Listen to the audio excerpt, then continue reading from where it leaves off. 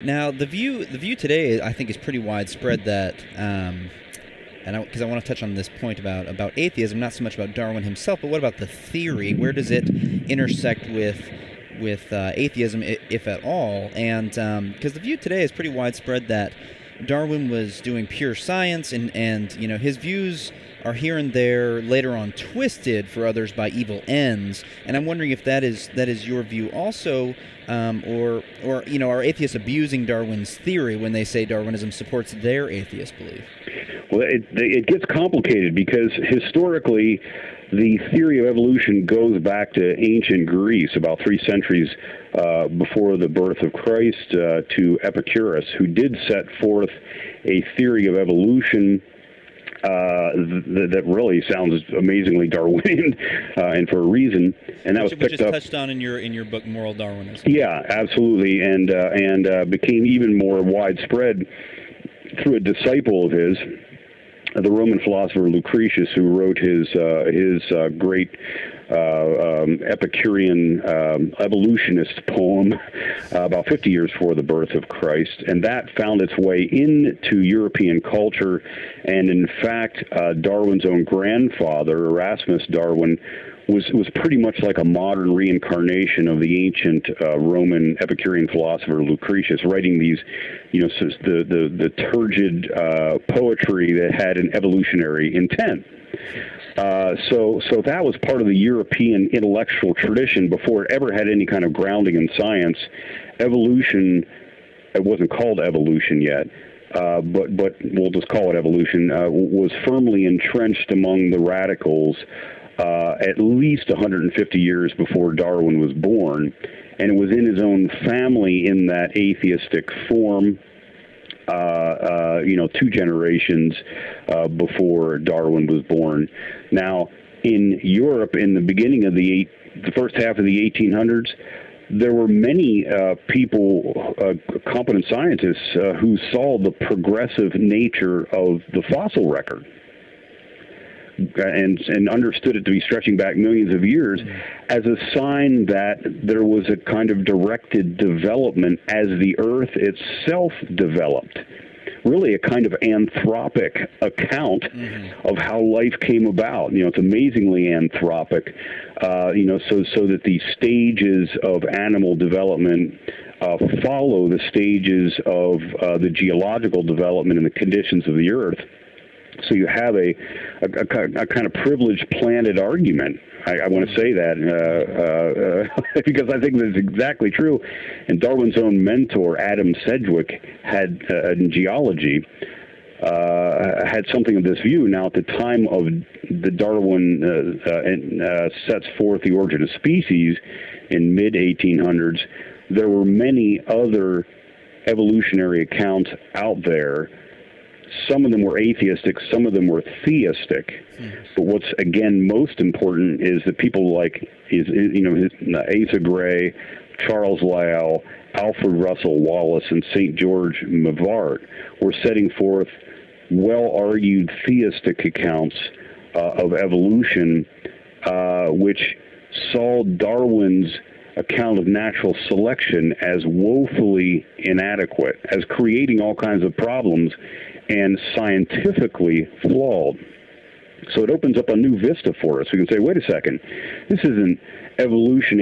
You know, it's got to be uh, scientific atheism versus foolish religion. Mm. It isn't that way at all. Uh, in fact, that's the Darwin myth. It's it's a distortion of uh, of the history of science, but it's one that we're still suffering under. Right. And where does where does social Darwinism fit into this? Because we usually hear that uh, Darwin was doing science, but then some people came along in the in the decades following that in the late 19th century and sort of perverted his teaching uh, on biology and by applying it to all these other areas. What's what's your take on social Darwinism? Yeah, that's an important point because obviously social Darwinism, which leads right into the eugenic movements and the notion that the poor should be crushed, the unfit should be cast out and eliminated, and it doesn't just lead to Hitler, it leads to all kinds of other things. Well, of course, people who affirm Darwin want to distance themselves today from that.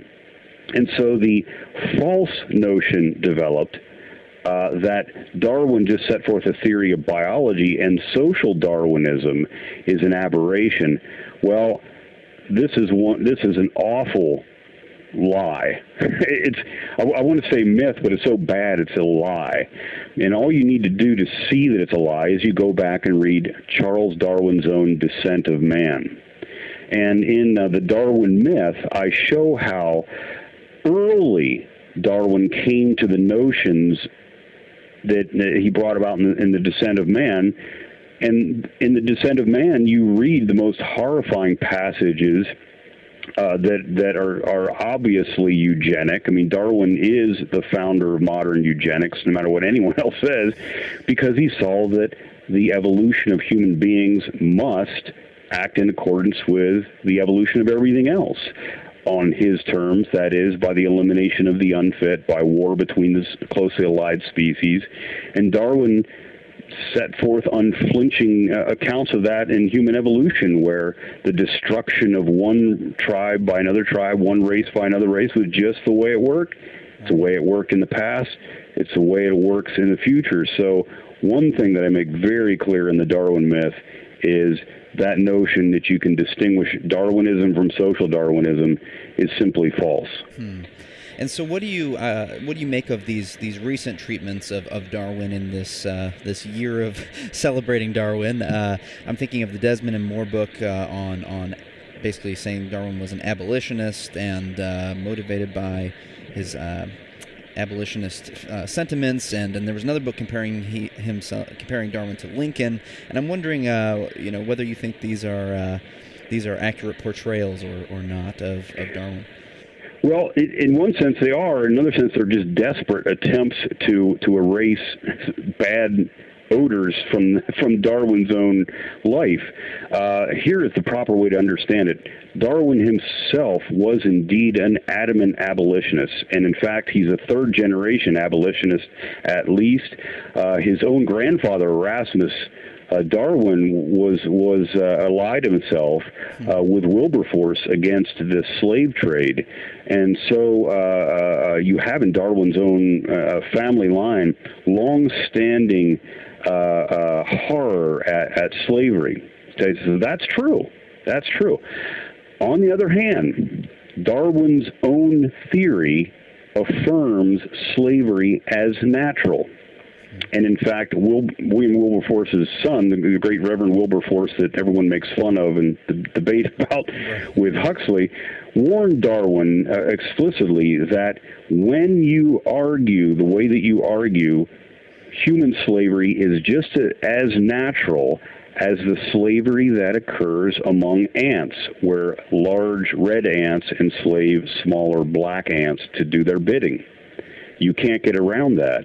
Uh, and Desmond and Moore try to get around that by emphasizing, you know, all the passages where you know, florid passages where Darwin strikes out against slavery, and then sort of underplay all the passages where he talks about the inferiority of certain races, and they're almost always the races who end up being slaves, uh, especially in that, you know, the the 19th century, uh, uh, um, 17th, 18th, 19th century.